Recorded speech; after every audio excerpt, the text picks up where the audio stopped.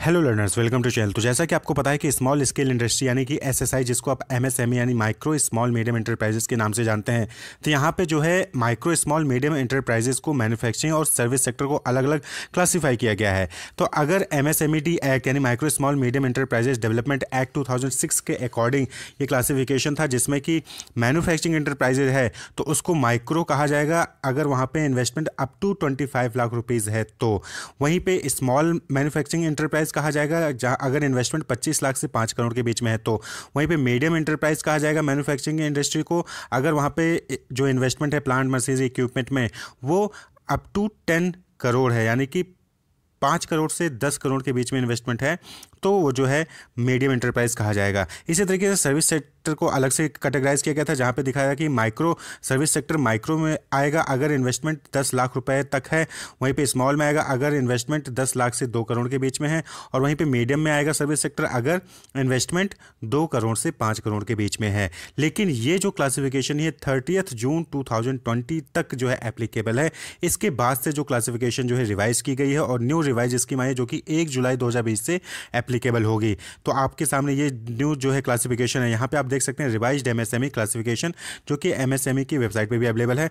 आप वहाँ से भी देख सकते हैं। तो एंटरप्राइज यहाँ पे क्या है कि सबसे इंपॉर्टेंट चीज़ की MSMED act has been modified with effect first July two accordingly manufacturing and service sector has been merge यानी कि पहले, इससे पहले तेईस जून दो हज़ार बीस तक जो है मैन्युफैक्चरिंग सेक्टर का अलग क्लासिफिकेशन था इन्वेस्टमेंट के बेसिस पे और सर्विस सेक्टर का अलग क्लासिफिकेशन था इन्वेस्टमेंट के बेसिस पे। कि आपने देखा कि मैन्युफैक्चरिंग के लिए अलग इन्वेस्टमेंट लिमिट है और सर्विस सेक्टर के लिए अलग इन्वेस्टमेंट लिमिट है। उसके बेसिस से वो माइक्रो स्मॉल मीडियम इंटरप्राइज में कैटेगराइज होते हैं। लेकिन अब जो है उसको रिवाइज कर दिया गया है। अब जो है माइक्रो इंटरप्राइज कब कहलाएगा?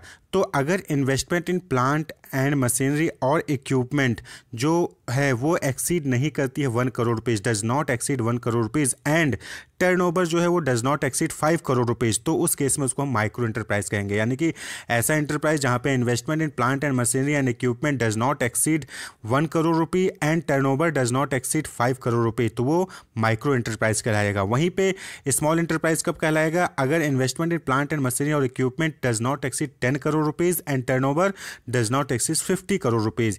यानी दस करोड़ से ज़्यादा इन्वेस्टमेंट नहीं होना चाहिए और पचास करोड़ से ज़्यादा टर्नओवर नहीं है तो वो स्मॉल इंटरप्राइज कहलाएगा। वहीं पे मीडियम इंटरप्राइज अगर investment in plant and machine and equipment वो एक्सीड नहीं करता है fifty crore does not exceed fifty crore rupees and turnover does not exceed two hundred and fifty crore. यानी कि ढाई सौ करोड़ रुपए से ज़्यादा एक्सीड नहीं करता टर्नओवर तो वो मीडियम इंटरप्राइज में आएगा। तो ये क्लासिफिकेशन नया क्लासिफिकेशन है, एक जुलाई दो हज़ार बीस से एप्लीकेबल है M S M E D act two thousand six को मॉडिफाइड करके एक जुलाई दो हज़ार से एप्लीकेबल हुआ है। तो यहाँ पे मैन्युफैक्चरिंग और सर्विस सेक्टर को दोनों को मर्ज कर दिया गया है। अब सर्विस सेक्टर के अलग से क्लासिफिकेशन नहीं है। दोनों ही चाहे वो सर्विस सेक्टर हो, चाहे मैन्युफैक्चरिंग सेक्टर हो तो अगर एक करोड़ तक जो है इन्वेस्टमेंट है तो वो माइक्रो में आएगा। दस करोड़ तक अगर इन्वेस्टमेंट है तो स्मॉल में आएगा और पचास करोड़ तक इन्वेस्टमेंट है तो मीडियम में आएगा। यानी कि एक करोड़ से पाँच, एक करोड़ से दस करोड़ के बीच इन्वेस्टमेंट है तो स्मॉल दस करोड़ से पचास करोड़ के बीच में इन्वेस्टमेंट है तो मीडियम और अप टू वन करोड़ तक इन्वेस्टमेंट है तो माइक्रो इंटरप्राइज में आएगा। और टर्नओवर की बात से करें तो पाँच करोड़ तक का टर्नओवर है तो माइक्रो पाँच से पचास करोड़ का टर्नओवर है स्मॉल इंटरप्राइज और पचास से ढाई सौ करोड़ का टर्नओवर है तो मीडियम इंटरप्राइज में आ जाएगा। तो ये न्यू क्लासिफिकेशन है, आपको पता होना चाहिए। Wish all the best keep watching